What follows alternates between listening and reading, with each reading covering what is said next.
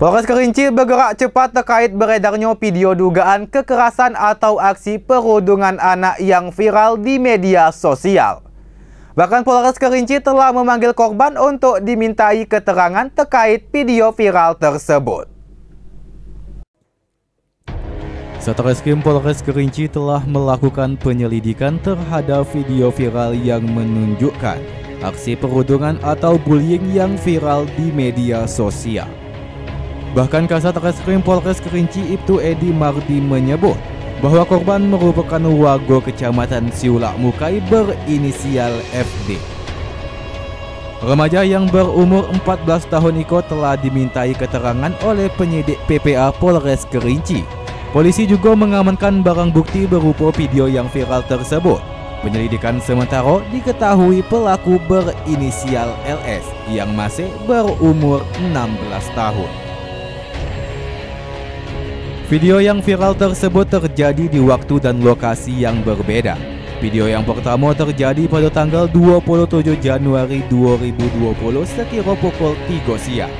Aksi bullying ikut terjadi di Jalan Desa Kotoaro, Kecamatan Siula. Sedangkan pada video yang kedua terjadi pada Kamis tanggal 30 Januari 2020 sekira pukul 10 pagi dan setengah 11 siang.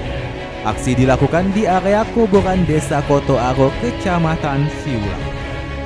Ibtu Edi Mardi menjelaskan, Peristiwa kekerasan Iko bermula diduga korban FD Iko menyebutkan pelaku dengan kata-kata yang tidak pantas. Atas perbuatan itu pelaku marah pada akhirnya terjadi kekerasan. Dalam waktu dekat polisi akan melakukan pemanggilan terhadap pelaku dan korban. Penyidik akan melakukan mediasi sebab video itu melibatkan anak di bawah umur.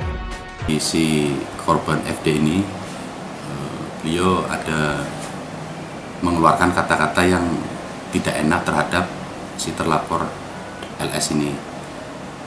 Jadi atas e, kata-kata itu kemudian si terlapor dimarah. Marah selanjutnya mungkin meluapkan emosi dengan cara kenapa kamu menuduh saya bahasanya dengan kata-kata yang tidak enak karena ketidaksenangan itulah. Makanya ada indikasi kekerasan terhadap anak.